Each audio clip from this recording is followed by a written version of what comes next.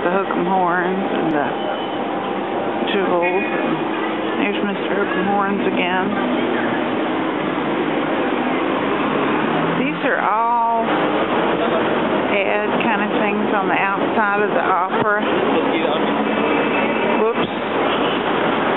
Well, she got decorated. And who knows what they all say. But anyway, it's kind of interesting. But yes, getting much more spring-like out.